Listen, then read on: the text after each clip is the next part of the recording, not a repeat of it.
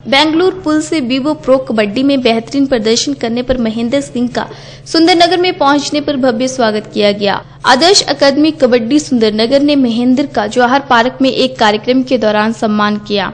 सुंदरनगर से लेकर महेंद्र के गाँव भड़ियाल तक एक खुली जीप के माध्यम से रोड शो किया गया। जगह जगह महेंद्र सिंह का लोकल सामाजिक संस्थाओं द्वारा स्वागत किया गया। महेंद्र सिंह का जन्म माता चंचला ठाकुर और पिता मोहन ठाकुर के घर में हुआ है। महेंद्र सिंह का एक भाई और एक बहन है। महेंद्र सिंह ने प्रो कबड्डी के दौरान जयपुर, दिल्ली, हरियाणा, तमिलनाडु, महाराष्ट्र, अहमदाबाद, कर्नाटक में विभिन्न जगहों पर प्रो कबड्डी में भाग लिया। उन्होंने बताया कि वह अपनी टीम की ओर से विजय होने से मात्र तीन अंकों के मार्जन पर रह गए। विभिन्न जगहों पर बढ़िया प्रदर्शन किया गया, जिसके लिए महेंद्र सिंह को आयोजकों की ओर से स्कूटी देकर सम्मानित किया गया।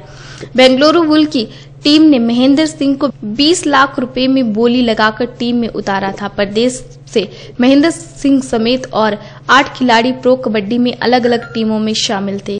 वीडियो टिकर district Himachal Pradesh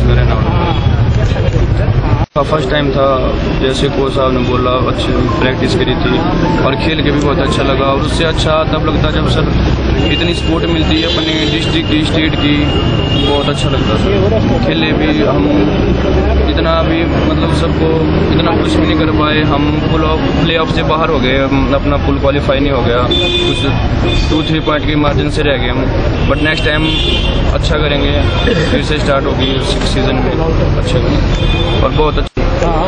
सर कौन सी उससे खेले आप? मैं सर बेंगलुरु बुल्स की टीम से खेला जी। अच्छा कहाँ के आप लोग?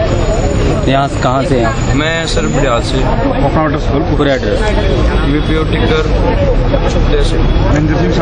बता दें कि महेंद्र सिंह वर्तमान में आर्मी में सेवारत हैं और मंडी में एकमात्र खिलाड़ी के रूप में उभरे हैं। जमा दो तक की पढ़ाई महेंद्र ने भड़ियाल से ही की है और स्पोर्ट्स हॉस्टल बिलासपुर से आगे अपनी पढ़ाई नियमित रखी और आज इस मुकाम पर हैं।